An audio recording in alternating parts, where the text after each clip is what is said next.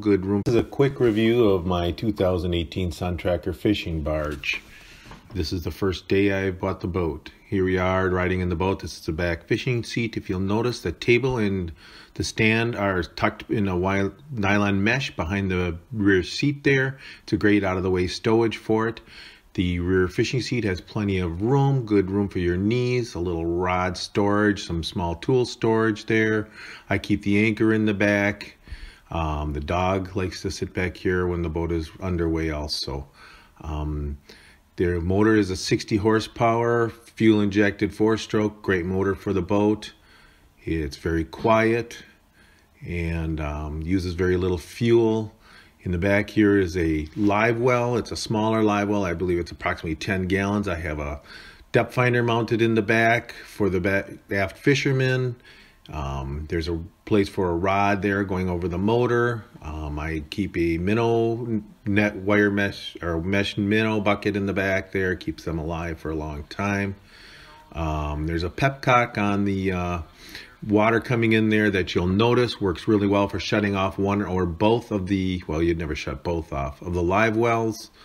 Um, keeps them aerated very well and uh, recirculates nicely. You can have it underway under slow when you're moving slowly, never have the pump going on when the boat's going fast. In the back, there's a nice ladder. It's one of the nicest ladders I've ever had getting into a pontoon boat.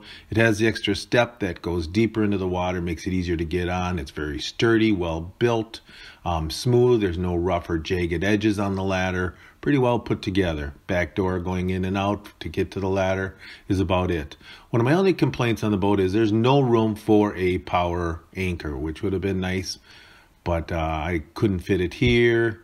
This is the uh, Bimini top. It's got a nice spring action in it that one person can raise and lower it. I think it's probably one of the most ingenious designs on the boat. Um, I, I, instantly installed a Hook 5 Lowrance step finder. I have a video uploaded on how to install it. It's, it's a very simple process. It's built into the dash. It's a nice flush mount. Um, it was perfectly designed. Here are the two transducers, one for the aft fisherman, smaller depth finder, and the other one for the Hook 5. Um, again, this is a video that's uploaded that you can look on how to install it if you want to attempt it yourself. Inside of the boat, um, it's just well uh, designed, laid out. There's plenty of storage underneath the seats and in the back of the backrest, which allows for, this. I'm sorry about that. This is a changing station. Um, the worst design on the boat, the I give it an F for fit and finish. I can't figure out what they were thinking about when they put that together. It needs a lot of rework. Um, as far as the fishing seats in the front of the boat go, they're very comfortable, a lot of space in between the front, the fencing and the in the seats for leg room, getting up, walking around, catching fish. I put in a uh, electric trolling motor, which uh, the, pushes the boat very, very well. Um, if you look, I also put a depth finder in the front, uh, FL28, and underneath the dog, which I neglected to show, was a depth or a, sorry, another live well, a larger live well for bigger fish or more fish for the people in the front of the boat. Again, two uh, stations for your fishing poles in the front of the boat with a little bit of small tool storage.